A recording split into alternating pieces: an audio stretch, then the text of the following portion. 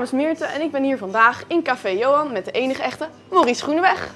Hi Maurice, Goedemorgen. leuk dat je er bent. Eh, vertel eens wat over jezelf. Ja, ik ben Maurice. Ik ben eh, bijna 32 jaar. En eh, ik zit nu zo'n zo, ja, zo geruime tijd 15 jaar in de muziek. En het is eigenlijk begonnen toen mijn ouders ja, 25 jaar getrouwd waren. Ik wist mijn god niet wat ik die mensen cadeau moest geven. Dus ja, ik bedacht gewoon iets ludieks. Ik denk, joh, maak het uit. We gaan gewoon eens wat geks doen. Nou, toen ben ik eigenlijk gaan zingen. En dat heeft er eigenlijk voor gezorgd dat ik nu jaren later eh, ja, wat, wat eh, gerichter in het vak zit, zeg maar. Dat Ja. ik eh, veel mooie optredens heb mogen verzorgen ook. Dus ja, daar ben ik heel erg dankbaar voor. Ja, leuk. Nou ja, zoals je al zei, je bent volkszanger. Ja. Maar in wat voor genres kunnen we jou nog meer vinden? Nou ja, je kan me natuurlijk ook vinden in de Engelstalige muziek natuurlijk van de jaren 60, 70, 80. Elvis Presley, Tom Jones, Engelbert Humperdinck. Noem het zo maar op. Ja, dat is gewoon de muziek waar ik mee op ben gegroeid eh, met mijn ouders. Ja, Dus ja, dat heeft wel iets eh, ja, meegenomen in mijn, eh, in mijn bestaan eigenlijk. ja, Ja, en dan probeer ik gewoon steeds meer eigenlijk mijn weg in te vinden in die oudere muziek. ja. Ja, ontzettend leuk. Zeker. Ehm, zoals je al zei, je bent natuurlijk begonnen. Maar hoe ben je eigenlijk begonnen? Ben je zanglessen gaan nemen? Of... Nee, nee, helemaal niet. Ik ben eigenlijk begonnen, nou ja, to- toen mijn ouders 25 jaar getrouwd waren. Toen ben ik begin, gaan beginnen met zingen. Ehm, toen ben ik op mijn zolderkamertje ben ik gaan studeren, met liedjes eh, in te studeren. Nou, heb ik zelf dan een cameraatje neergezet om dan op te nemen en zelf terug te luisteren. En dat deed ik eigenlijk iedere keer weer, van, hè, dat moet toch weer anders, weet je wel. En dan blijf je toch zo lekker bezig. En dat doe ik nu eigenlijk vandaag de dag nog steeds. Ja, wat Maar leuk. Eigenlijk, maar eigenlijk nog nooit eh, zangles gehad. Gewoon alles op eigen kracht. Knap is dat, als dat kan. Ja, op zich wel. En eh, je schrijft ook eigen nummers. Nou, ik schrijf ze niet zelf, ik laat ze schrijven. Want ik ben zo Oh, ja. eh, inspiratieloos als maar zijn kan. Oh ja, oh, wat grappig. Ja, want ik had eh, Dit is de Nacht. En als je bij me bent, zijn een paar bekende nummers. Maar je schrijft ze Ja. dus niet zelf. Nee, Wil je dat wel gaan doen? Of... Ik heb het wel eens geprobeerd, maar het, het is niet voor mij weggelegd. Ik heb wel eens wat op een kladje neergezet en dan ging ik bij het water zitten, want daar word ik altijd rustig. Dan ging ik wat op een kladje schrijven en dan dacht ik van ja, zo moet ik het doen en dan zo en zo en zo. Nou, en dan lees je het op een gegeven moment lees je terug en dan denk ik, nou, dit is niks. Dus dan gooide ik het maar weg en toen dacht ik van, nou, laat ik het maar niet doen. Ja. Dus niet aan mij besteed, laat ik lekker aan iemand anders over. Ja, ja, ieder zijn ding zo. Zeker weten. Ehm, nou, je hebt ook wel eens evenementen, doe je natuurlijk regelmatig. Ehm, nou, noem eens wat op. Wat, wat doe je vaak?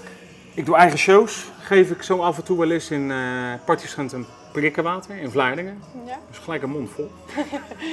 Daar doe ik eigen showtjes organiseren met collega-artiesten. En dat doe ik eigenlijk gewoon voor de mensen, voor de oudere garde eigenlijk.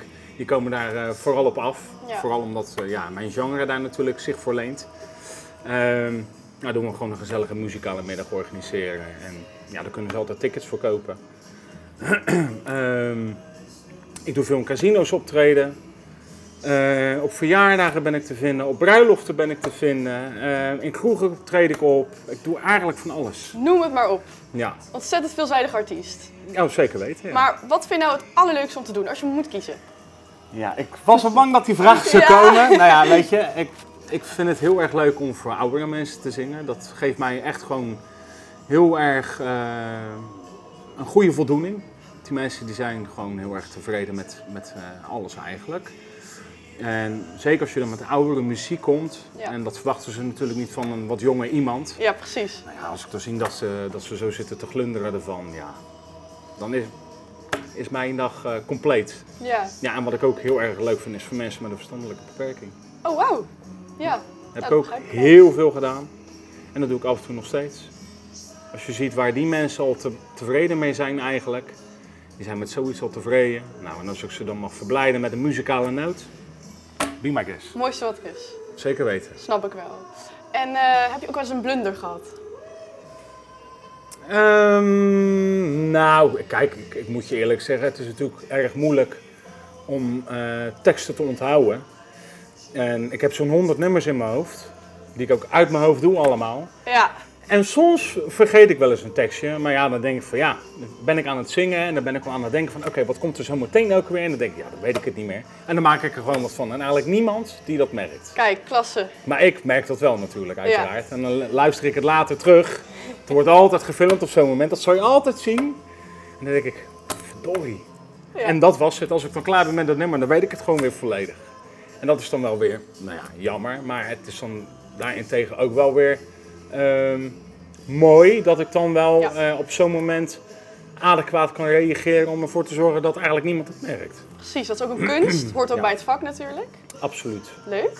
En eh, nou, je bent buschauffeur, zei je al. Ook nog, ja. Eh, heb je dan wel eens dat je denkt, nou, ik ga even mijn eigen nummer opzetten of dat mensen je herkennen als ze de bus instappen? Ehm, hier in de regio heb ik wel dat mensen mij ja, herkennen als ze de bus in komen. Dan zitten ze wel eens te kijken. En dan lopen ze een stukje verder de bus in. En dan komen ze net zo. Ze zeggen, nou wat zit jij achter het stuur? Ik zeg, ja, ik zeg, eh, ik doe van alles. Dus- Ja. En dan is het altijd even een praatje en eh is altijd wel even leuk. ja, dat is het mooiste wat er is. Maar zingen in de bus? mm, Als het leeg is. nou, nee, niet per definitie als leeg is. Want ik heb ook wel eens dat ik eh, een, een liedje dan op, op staan op mijn telefoon. En dan vind ik dat gewoon een mooi nummer. En dan zit ik wel eens mee te zingen. En dan, ik heb wel eens gehad dat ik dacht dat mijn bus leeg was. En dan was ik onderweg naar, eh, naar de zaak. Eh, met, een, met een lege bus, dacht ik.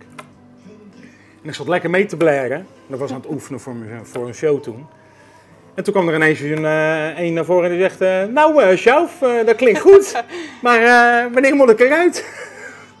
Weet je, dat Ja. soort dingen maak je dan ook wel eens mee. Ja, Dus dat is best wel, eh, best wel grappig. ja grappig joh. Maar over het algemeen doe ik gewoon lekker thuis oefenen in mijn eigen habitat. Veilige omgeving. En eh, ja, dat doe ik eigenlijk al mijn nummers wel, eh, wel oefenen voordat ik iets ga doen. Ja. En je vriendin, hoe kijkt die naar jou? Eh, ja, die, die, die vindt het wel heel erg leuk. Ze vindt het af en toe wel eens moeilijk dat ik... eh, ja, ik ben natuurlijk of aan het werk of ik ben aan het optreden. Ja. Dus dat is wel een lastig dingetje. Maar eh, ik heb denk ik de mazzel met haar dat zij eh, mij daarin heel erg steunt. En ze begrijpt hoe moeilijk het is om in die wereld eh, te komen. Ja, ik ben er 15 jaar bezig en eh, er is niks moeilijker als deze wereld. En ehm, ja, ze steunt me gewoon in alles. Dus dat waardeer ik heel erg. En daar ben ik alleen maar heel erg blij mee dat ik ooit nog eens zo iemand mocht vinden. Ja, ah. En ik heb wel eens eh, andere dingen meegemaakt. Dus ik mag mijn handjes dichtknijpen met haar. Fijn, mooi dat je dat kan hebben. Ja, zeker. Ja. En heb je nog een, een voorbeeldfiguur? Ja, tuurlijk heb ik die. Ik ben zelf een, een Elvis-fan. Ik hou van, eh, van zijn muziek. Ja. Eh, Tom Jones vind ik ook onwijs goed. Ja. En ja, de basis begint bij Hazes.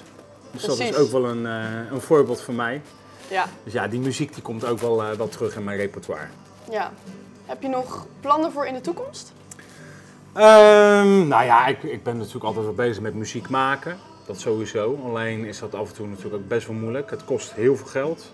Ja. En ik betaal alles uit eigen zak. Dus eh, ja, heel veel anderen die krijgen er natuurlijk uit sponsor eh, gebeuren. Ja. Maar ik, ik ben wel bezig weer om eh, iets te gaan doen. Dus dat, Ja, dat dat krijgen we binnenkort weer op Ah, de planning. Ja. Ehm, heb je nog iets wat je echt graag zou willen doen, wat een droom voor jou zou zijn? Een festival staan of iets anders? Nou ja, natuurlijk. Kijk, iedereen heeft een droom. En ik zou heel graag een keertje. Het is misschien een beetje te hoog gegrepen, maar ik zou heel graag een keer in Ahoy willen staan. Dat lijkt me echt eh, fantastisch. Niks is zo gegrepen, hè, Maurice? Nee, dat is waar. Je moet altijd Ja. durven dromen. Dat is zeker waar. Maar eh, dat is wel iets wat ik heel graag zou willen. Ja. Ja. Dat lijkt me heel erg gaaf. Ontzettend gaaf. Nou, ik ben benieuwd wat we nog meer van jou gaan zien. En ik denk dat wij echt nog uren door zouden kunnen praten. Zeker weten. Eh, maar we gaan hem afsluiten. Wel? graag gedaan. Tot een leuk bedankt. Eh, ja, ik ben benieuwd wat we nog gaan zien van jou. jou beleef ik alleen de mooiste momenten. Want hoe jij het versiert, hoe jij het ziet en bedenkt.